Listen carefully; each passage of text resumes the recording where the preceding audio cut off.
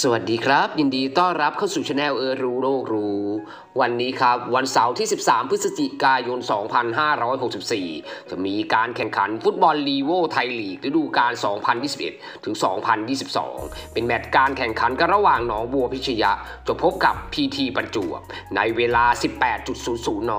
ณ สนามพิทยะสเตเดียม สำหรับลิงก์การถ่ายทอดสดของฟุตบอลคู่นี้ ทางช่องก็แนะนำลิงก์การถ่ายทอดสด ไว้ใต้คลิปนี้เหมือนเดิมนะครับสำหรับเพื่อนๆที่ยังเข้าลิงก์ไม่เป็น ทางด้านท้ายคลิปนี้ก็จะมีคำแนะนำวิธีการเข้าลิงก์ให้นะครับก่อนจะถึงเวลาการถ่ายทอดสด ทางช่องก็จะทำการพรีวิวฟุตบอลคู่นี้ให้ฟังกันก่อนนะครับ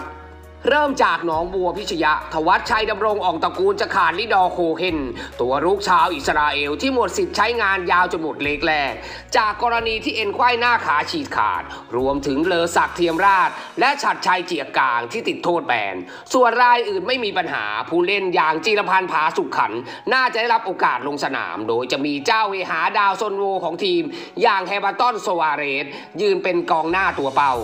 ทางด้านสภาพความพร้อมของพีทีประจวบมาสมิทากิกุนซือชาวญี่ปุ่น ยังคงขาดยางโซบาดนา และอดุลหมื่นสมานสองแนวรับที่ได้รับอาการบาดเจ็บ แถมยังพลาดใช้งานประสิทธิ์จันทุม และวิลเลียนโมตาที่ติดโทษแบนอีกด้วย ขนาดที่ตาอัวไฟเรล่าก็ยังบาดเจ็บ คาดว่าในรายของกองหน้าน่าจะใช้งานเมทีสารคำคู่กับดาวรุ่งอย่างธนินปอดแก้วลงสนาม รายชื่อ 11 ผู้เล่นที่คาดว่าจะลงสนามเป็นตัวจริงของทั้งสองทีม เริ่มจากหนองบัวพิชยะ ใช้ระบบการเล่น 5-4-1 กิตติคุณแจ่มสุวรรณเป็นผู้รักษาประตู ทัศนพงษ์บัวดารัตยุทธพงศ์ศรีราครแฮพิงตันติราบาซีอานิสงเจริญธรรม สถาพรแดงศรีจีรพันธ์ผาสุขขัน มาฮารามานี วิชิตชัยช่วยศรีนวล เอียนแรมซี่ และแฮมิลตันโซอาเรส รายชื่อ 11 ผู้เล่นที่คาดว่าจะลงสนามเป็นตัวจริงของ PT ประจวบ ใช้ระบบการเล่น 4-4-2 ขวัญใจสุขร้องเป็นผู้รักษาประตู เอกนัทคงเกต พีฮาวัตอักธรรม อันนานอุราหูวัตสหรัฐปองสุวรรณ อภิชาติเด่นหมาน รัชพลนาวันโน ชินวัตรวงชัย ธีรายุบรรหาร เมธีสารคำ และธนินปอดแก้ว ฟอร์มการเล่น 5 นัดหลังสุดของทั้งสองทีม เริ่มจากหนองบัวพิชยา วันที่ 9 เดือน 11 2021 เสมอกับบุรีรัมย์ยูไนเต็ดไป 0 ประตูต่อ 0 วันที่ 6 เดือน 11 2021 หนองบัวพิชยะชนะเชียงใหม่ยูไนเต็ดไป 3 ประตูต่อ 1 วันที่ 31 เดือน 10 2021 เสมอกับแบงคอกยูไนเต็ดไป 1 ประตูต่อ 1 วันที่ 24 เดือน 10 2021 ชนะสุพรรณบุรี FC ไป 2 ประตูต่อ 1 แล้ววันที่ 16 เดือน 10 2021 แพ้ให้กับขอนแก่นยูไนเต็ดไป 1 ประตูต่อ 0 ฟอร์มการเล่น 5 นัดหลังสุดของ PT ประจวบ วันที่ 10 เดือน 11 2021 แพ้ให้กับชลบุรี FC ไป 1 ประตูต่อ 2 วันที่ 7 เดือน 11 2021 แพ้ให้กับราชบุรีมิตรผล FC ไป 2 ประตูต่อ 0 วันที่ 30 เดือน 10 2021 แพ้ให้กับนครราชสีมามาด้า FC ไป 1 ประตูต่อ 2 วันที่ 24 เดือน 10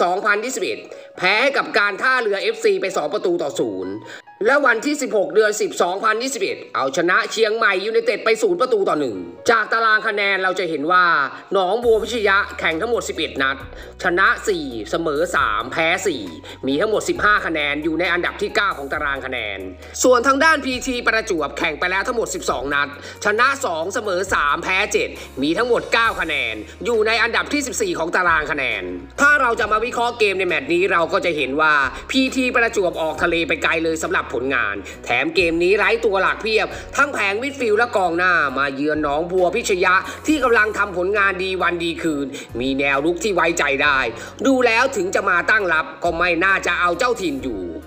ผลสกอร์ที่คาดไว้ หนองบัวพิชญเอาชนะพีทีประจวบไป 1 ประตูต่อศูนย์ก็อย่างว่าละครับ ลูกฟุตบอลลูกกลมๆ ถ้ายังไม่ได้ลงทำการแข่งขันกัน ก็ยังไม่ทราบหรอกครับว่าใครจะเป็นผู้ชนะ ต้องรอติดตามชมกันครับ สำหรับเพื่อนๆที่จะเข้าลิงก์ดูและเข้าไม่เป็น ก็ทำตามขั้นตอนตามนี้เลยนะครับ จากหน้าจอมือถือของคุณคุณจะเห็นเลยครับหน้าใต้คลิป มันจะมีชื่อคลิปอยู่นะครับ ให้คุณมองทางด้านขวามือของชื่อคลิป มันจะมีเครื่องหมายชี้ลงนะครับ เป็นลูกศรสามเหลี่ยม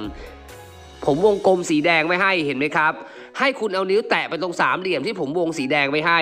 มันจะมีส่วนขยายออกมา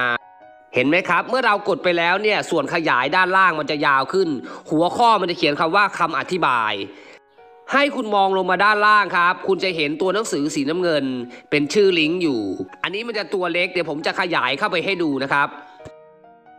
เห็นไหมครับ เมื่อผมขยายหน้าจอขึ้นมาให้ดูแล้ว คุณจะเห็นครับด้านล่าง ตัวหนังสือสีน้ำเงินนั่นคือลิงก์การถ่ายทอดสด ผมจะเอาวงสีแดงวงไว้ให้